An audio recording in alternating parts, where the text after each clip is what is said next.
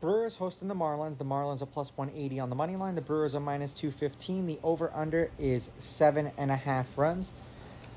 The Marlins getting a run and a half on the run line are minus 120, meaning if you bet them that way and they win this game outright, you win. They lose by one, you win. And the Brewers laying a run and a half on the run line are plus 100, meaning if you bet them that way, they have to win by two or more.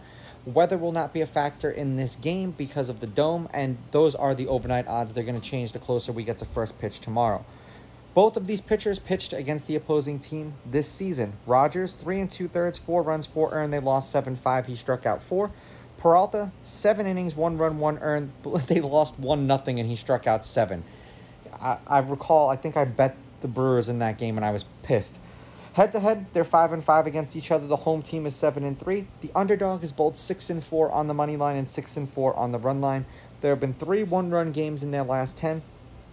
The under is five, four, and one, and the under seven and a half is six and four. And the Marlins are two and one against the Brewers this season.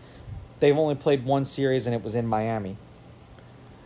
Uh, of course, they didn't confirm the starters all the way. Rogers is going on four days rest.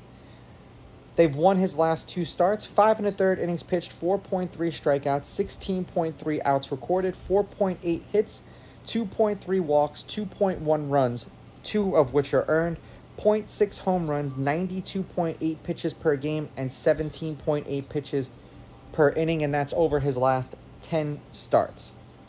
Now, for the Brewers, it's going to be Peralta. He's going on five days rest. In his last 10 starts, they did win his last start.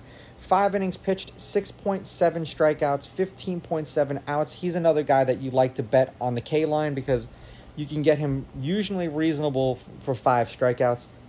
4.6 hits, two walks, 2.4 earned runs, or 2.4 runs, 2.3 of which were earned, 0.7 home runs, 100.4 pitches per game, and 19.9 pitches per inning, and that's an average over his last 10 starts.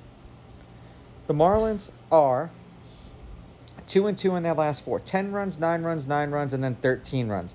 Four runs in a loss, six runs in a win, six runs in a win, and then six runs in the loss today. They lost in extra innings, I believe. And for the Brewers, they are six and four in their last ten. The over/under is five and five, and they're five and one in their last six.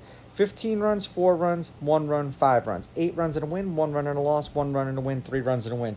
I just think that this is going to be a lower scoring game with Peralta on the mound.